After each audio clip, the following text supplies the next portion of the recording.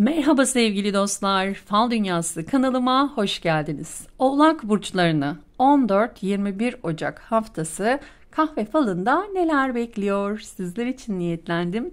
Güzel bir hafta diliyorum. Sağlığınız, sıhhatiniz, huzurunuz bol olsun arkadaşlar. Bakalım bu hafta kahve falınızda neler çıkmış? Biraz çalkaladığım doğrudur ama içimden gelen de oydu. Bakalım neler var şöyle bir haftaya hazır mısınız sevgili dostlar? Ne kadar pınçık pınçık konular var. Özellikle iş hayatınız, eğitim hayatınız ya da e, maddi kaynaklar dediğimiz alanda. Direkt oradan başlayasım var. Çünkü bakın şurada gördüğünüz gibi elinize bir şey almışsınız. Bir adım atmışsınız özellikle pazartesi. Ben e, şurayı direkt es geçeceğim. Yani e, aşk, ilişkiler haneyi. Parasal konular, maddi kaynaklar dediğimiz yere geleceğim. Çünkü burada çok ilginç ve çok güzel görseller var. Ne kadar güzel oturmuş. Şimdi aslında şöyle bir durum var. Pazar günü bir kişiyle karşılıklı oturuyorsunuz. Eşiniz, dostunuz, tanıdığınız, anneniz, babanız kim ise sanki size e, hayatınızla alakalı bazı tiyolar verecek. Bazı konuşmalar, bazı kararlar vermeye çalışacaksınız. Bu kararlarınızı verdikten sonra da aslında pazartesi günü e, pazartesiye şöyle bir adım atarak bu hafta şunları şunları halledeceğim diyerek girdiğiniz e, biraz sıkıntılar var evet ellerinizde tuttuğunuz sıkıntılar da görünüyor ama yarım kalmış bir işiniz varsa onu tamamlamak adına yeni bir işe başlamak adına ya da virgül görselleri var dediğim gibi yarımlanmış bir konunun tamamlanması adına ya Bismillah diyeceğiniz bir pazartesi net olarak var. Kafanız biraz karışık çünkü karışık bir işi toparlamaya çalışacak gibi görünüyorsunuz ama elinizde büyük bir güç var. İstikrarlı olacağınız, kalbinizin sizi yöneteceği. Bakın hani burada içinizden gelen hani derler ya şunu hissediyorum. O hissiyatla yöneleceğiniz bir pazartesi var. Yalnız önünüzde bir kişi, bir konu, iki tane de havada kalmış biri para meselesi, biri haber meselesi görselleri var. Pazartesi günü bir haber bekliyorsunuz. Bu haber kancalı çıkmış. Çok olumlu bir cevap alamayabilirsiniz. Bir para mevzunuz var. Bir kişiyle görüşeceksiniz.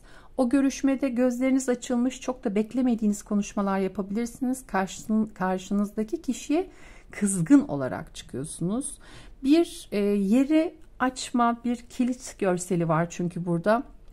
Hani sanki bir kapıyı açmak, işinizle belki bağlantılı, belki parasal bir konuda bir başlangıç yapmak, bir konuda işte kapı açmak demek, başlamak demek, yeni iş almak demek, olması gereken bir durumu artık sonlandırmak anlamına da gelir.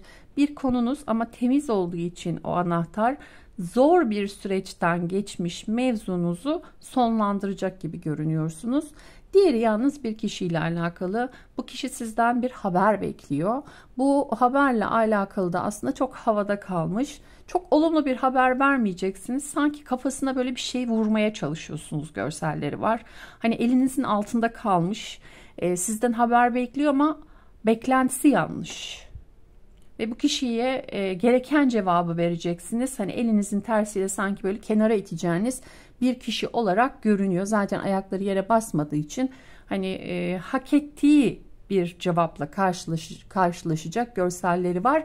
Fakat bu kişi salı günü de çıkacak arkadaşlar. Gene aynı şekilde e, yalnız bu sefer biraz daha kızgın, kırgın, hani kavgaya hazır bir görselde olan bir kişi var. Şimdi bu iş yerinde bir kişiyle kavga etmeniz ya da parasal mevzuda bir kişiyle kavga etmenizi gerektirebilir.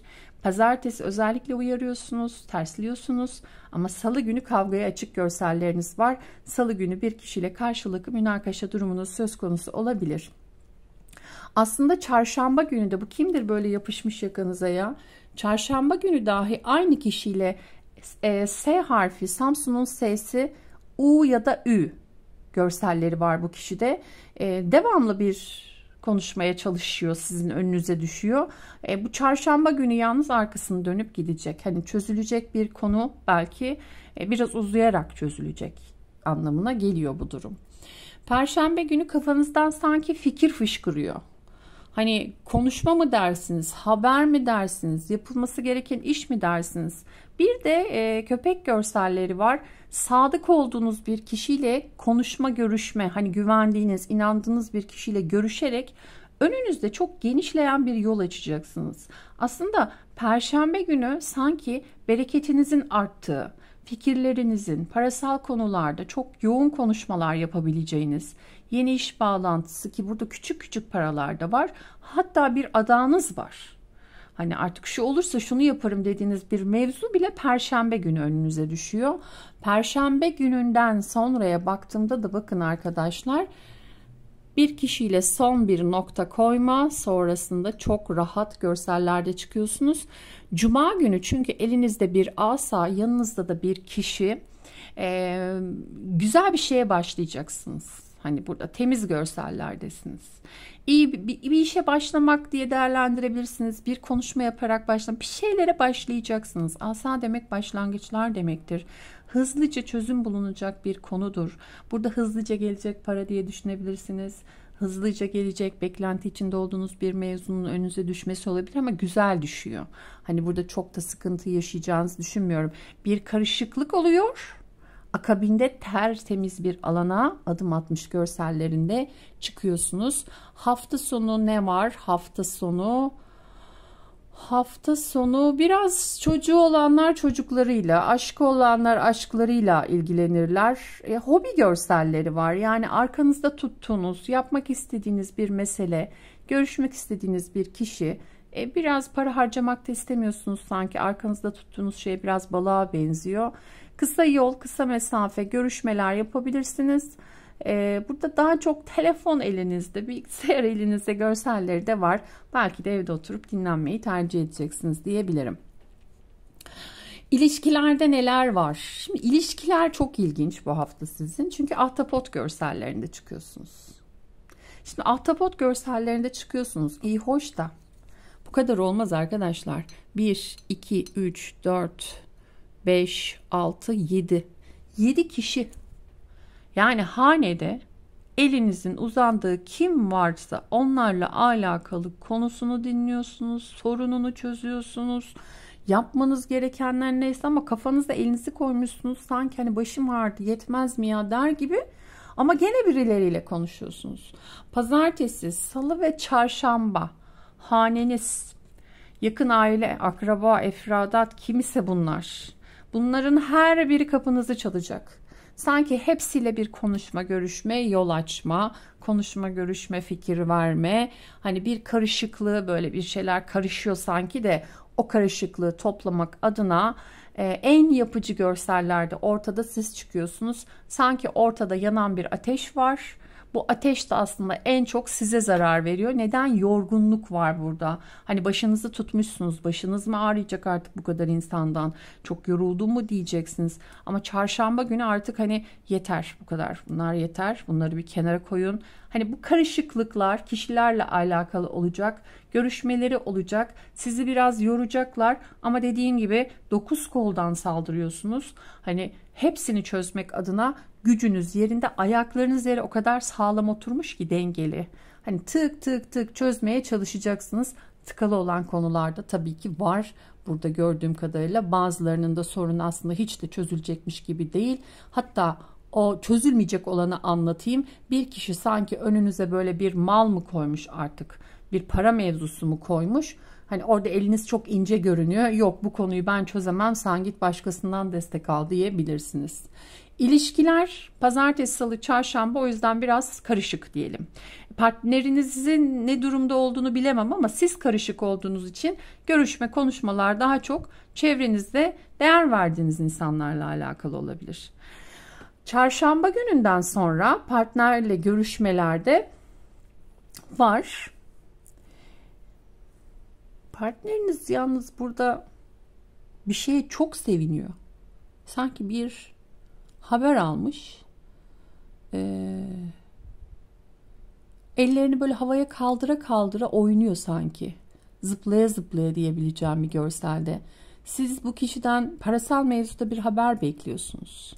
O haberi alacak perşembe günü, cuma günü ya da e, yanında durmuş bir yöne doğru yönelmiş oraya doğru gidiyor çıkıyorsunuz. Yani burada e, sizin değil de eşinizin ya da dediğim gibi sevdiğiniz, değer verdiğiniz insanın alacağı çok güzel bir haberi birlikte paylaşıyorsunuz. E, parasal konularda olduğunu düşünüyorum. Hani burada şey de var ya yarımlanma var. Hani şimdi atıyorum burada arkadaşlar örnek vermek adına. Diyelim ki eşinizin bir alacağı var. İşte bu alacak 1000 lira. E, bu alacağın yalnız yarımlanma olduğu için 500'ü gelecek. 500'ü geldiği için seviniyor. Hani hiç gelmez, hiç olmaz dediğiniz bir mesele olabilir. Bir. E şimdi eğitim hayatıyla alakalı da etkiler burası.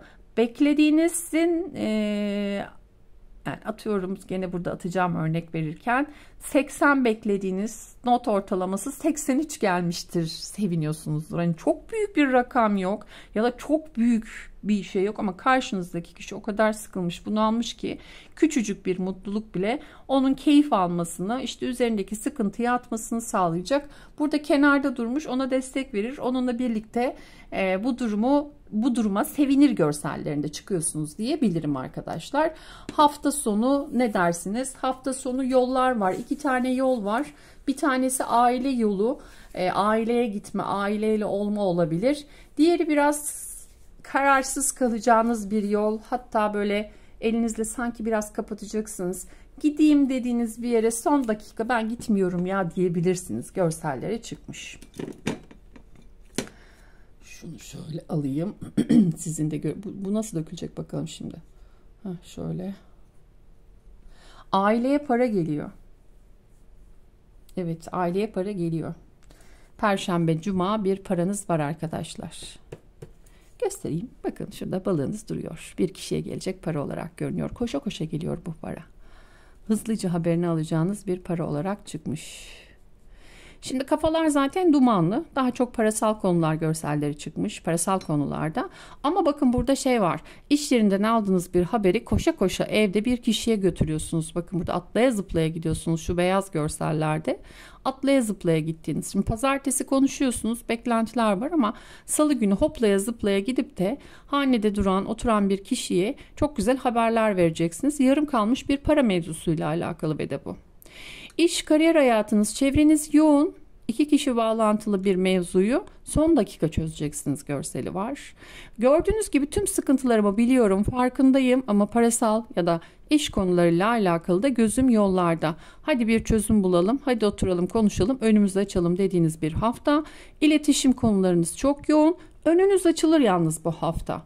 Yani ee, pazartesi, salı, çarşamba bakın buralarda hep insanlarla uğraşmalar var. Ama daha sonrasında açılacak. Özellikle şu tombik kişi kimdir? Böyle kalçalı bir erkek görselinde çıkıyor. Baya baya tombul gördüğünüz gibi. Onunla yapacağınız bir konuşma biraz silik olsa da elinde bir şey tutmuş sanki size bir şey veriyor. Yarım kalmış para da olabilir bu. Görselleri var. İkili ilişkilerde Karşınızdaki kişi beklenti içinde. Onun dışında bakıyorum görebileceğim bir şey var mı? Pazartesi bir tartışma yaşanabilir ama eften püften bir konu için diyeyim yani onu da çok uzatmayayım. O takıyor siz takmıyorsunuz. yani onun takacağı bir mesele. Görselleri vardı sevgili oğlak burçları. İyi dediğim güzel dediğim her şey önünüze düşsün. Keyfiniz, sağlığınız, saatiniz bol olsun. Güzellikler sizi bulsun. Beni dinlediğiniz ve izlediğiniz için çok teşekkür ediyorum arkadaşlar. Bir dahaki kahve falınızda görüşmek üzere. Hoşçakalın.